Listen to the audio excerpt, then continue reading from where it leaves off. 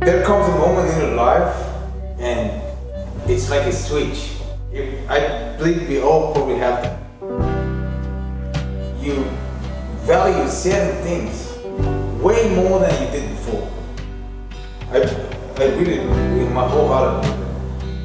Probably I was my my late twenties that I reached that point, and I, uh, I never forget. I was walking Barcelona, and I was seeing this door, you know, uh, door articulations, like the the way they articulated, they, they insert the doors into like these uh, buildings.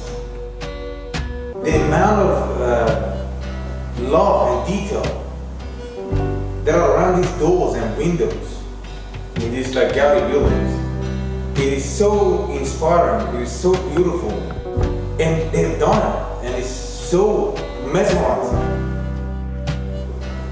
Yeah, I think that those are those are one of the moments. But I, I believe that was like a switch. I think I never forget. I think that was one of the moments.